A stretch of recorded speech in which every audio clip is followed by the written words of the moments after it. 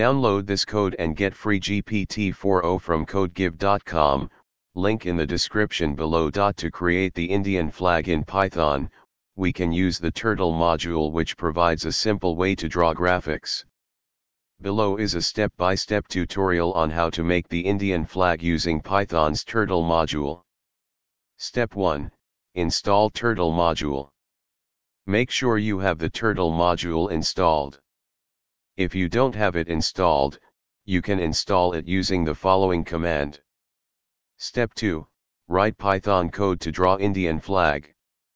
Now, you can use the following Python code to draw the Indian flag using the turtle module. Step 3, run the Python code. Save the code above in a Python file, example indian underscore flag.py, and run it.